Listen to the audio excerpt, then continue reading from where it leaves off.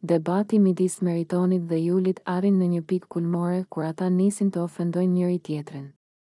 Meritoni i shpreh Julit keqardhjen e tij për faktin që ai thur intriga dhe ka një sjellje negative ndaj tij. Meritoni pyet Julin se pse ai flet keq për të dhe përse ka ndërmarrë këtë qëndrim negativ. Julit i përgjigjet Meritonit duke i thënë se nuk i frikohet nga ai dhe se thjesht ka kuptuar lojën e tij.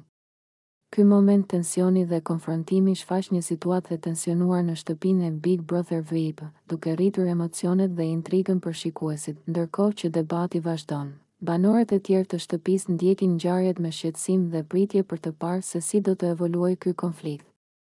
Shikuesit presin për ndërhyrje të reja dhe zhvillime të papritura në marrëdhëniet midis Meritonit dhe Julit.